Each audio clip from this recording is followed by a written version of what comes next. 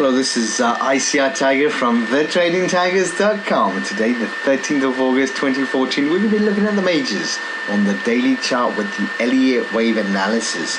Before we start, please go through the disclaimer, stop and read at your own leisure, as well as the hypothetical performance. Okay, fine. So let's go to the charts. Here we are on the majors, the most popular pair out there, the euro dollar.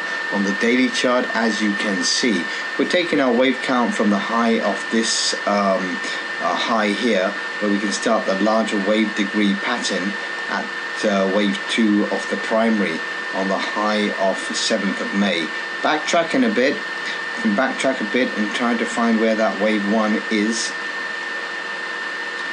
Uh, wave 1 is at the low of 23rd of July 2012.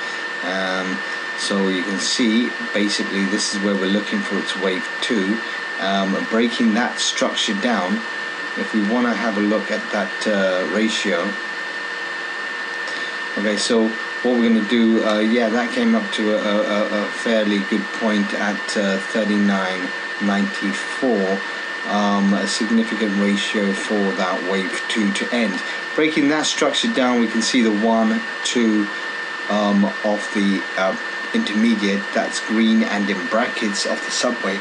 And in a wave 3 its substructure is the minor which is in pink 1 2 and 3 in completion.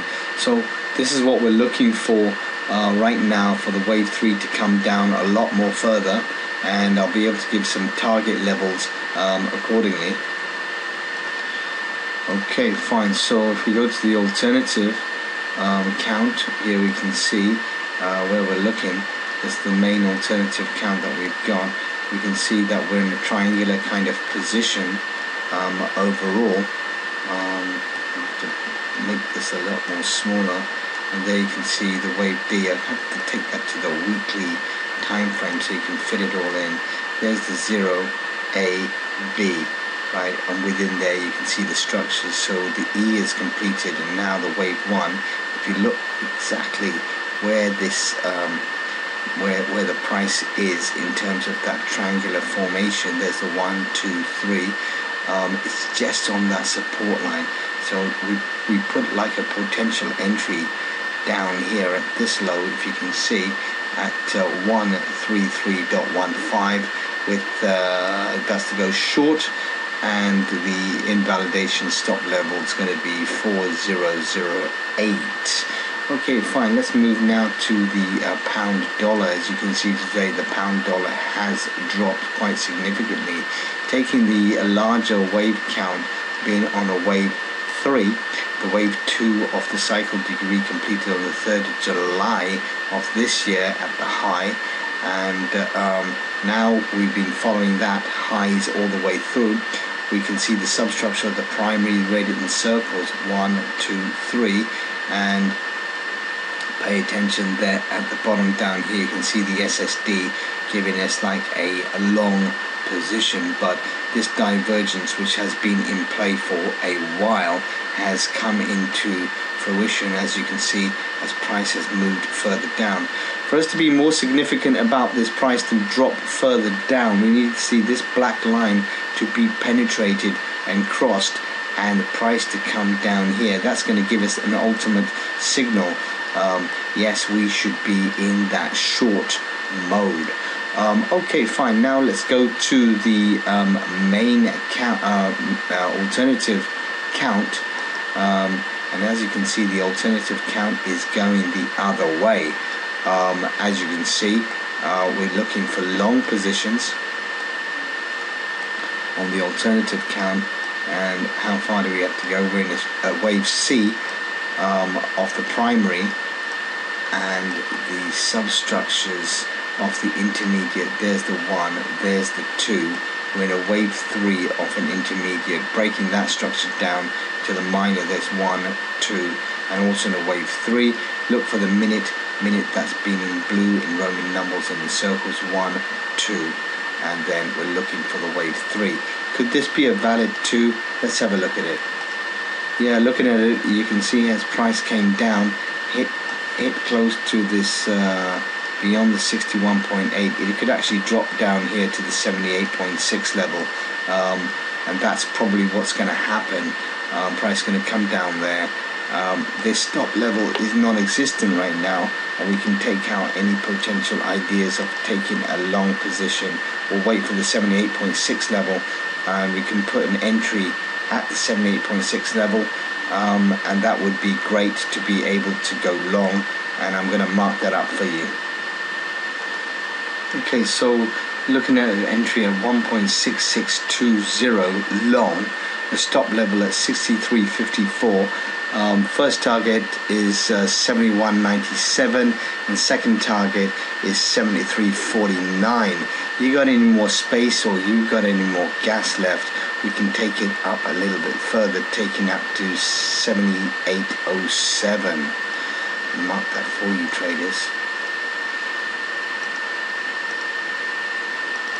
So that's what we're looking for on that area. Remember please bear in mind this is the alternative count that we have um, right now for the pound dollar. Um, but confirmation is necessary and let's just see what happens.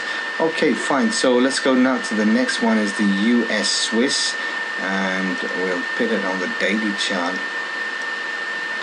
And uh, main large is the one that we want. And where we are right now, we can see the larger wave structure of the wave 2 um, of the minor um, at the high of um, 21st of January 2014 when we, when we squeeze that down so look where we stand.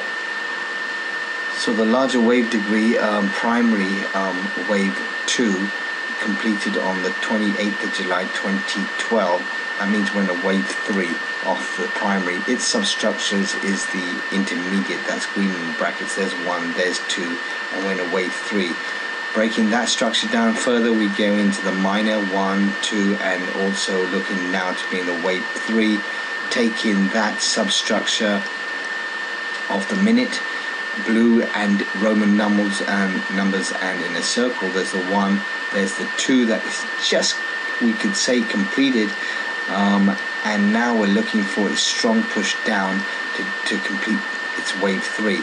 So if we're looking for a short position, why not take a short on a confirming point at the low around here, um, 0.88572.